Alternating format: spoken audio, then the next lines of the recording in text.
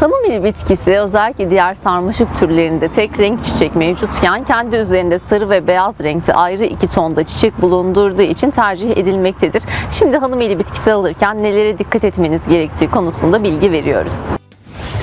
Özellikle ilkbahar döneminde saksıya ya da toprağa dikmek için aldığınız hanım eli bitkisinin çiçekleri üzerinde bulunmuyorsa yapraklarının karşılıklı bir şekilde dala sarmaz bir şekilde dizilmesi önemli bir husustur. Yeni taze sürgünlerin olması, yaprakların üzerinde ve altında bir hastalık ya da böcek rahatsızlığının bulunması bitkinin sağlıklı olduğu anlamına gelmektedir.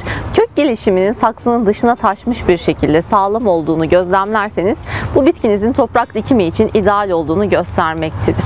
Ama eğer bu bitkiyi saksıya dikmeyi planlıyorsanız mevcutta aldığınız saksıdan 1-2 boy büyük bir saksı bitkinin daha rahat köklerinin gelişim göstermesini sağlayacaktır.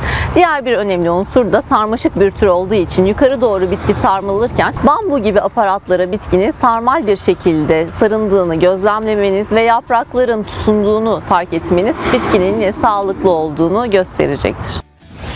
Hanım ili bitkisinin sarı ve beyaz çiçekleri olmasından dolayı özellikle bahçenizde ya da balkonunuzda daha farklı renk tonlarında bitkiler varsa tercih edebileceğiniz doğal yetişen bir türdür. Aynı zamanda diğer sarmaşık türlerine göre daha dayanıklı olması sebebiyle yarı güneş alan alanlarda daha dayanıklı olmasından ötürü bitkiniz daha sağlıklı yetişecektir.